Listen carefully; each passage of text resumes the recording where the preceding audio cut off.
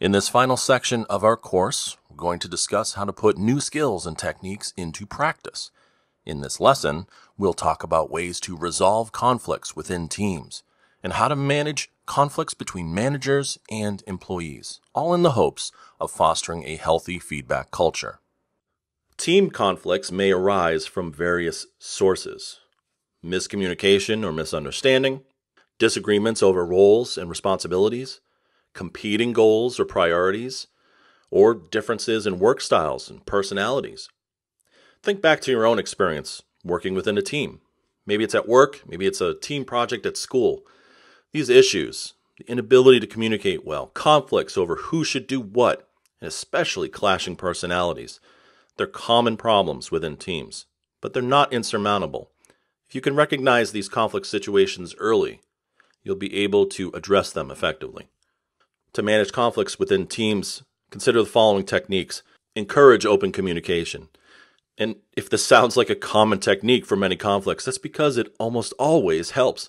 Create an environment where team members feel comfortable expressing their thoughts and feelings and concerns.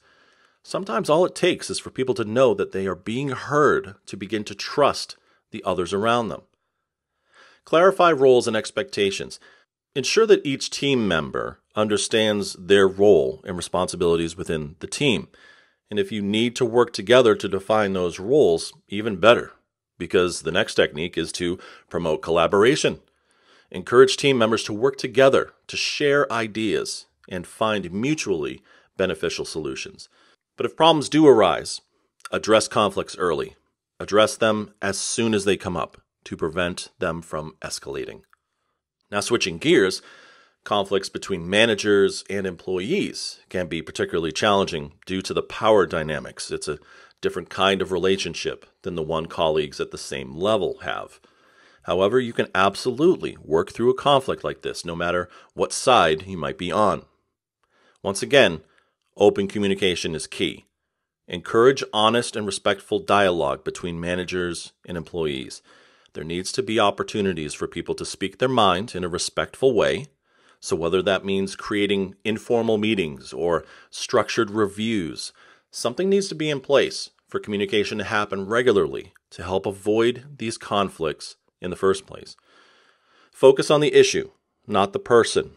Discuss the specific problem or behavior. Avoid personal attacks or blame. Be empathetic and understanding. Acknowledge each other's feelings and perspectives try to find common ground. And seek feedback and be open to change. Both managers and employees should be willing to take that feedback and adapt their behavior if necessary. So, whether you are the manager or employee, it's essential you focus on the issues and try to see the other side's perspective.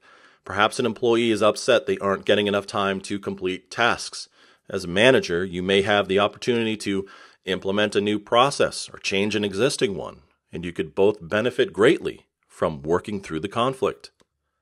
But as we've mentioned many times before, open communication is often the first step to working through conflicts and even avoiding them altogether.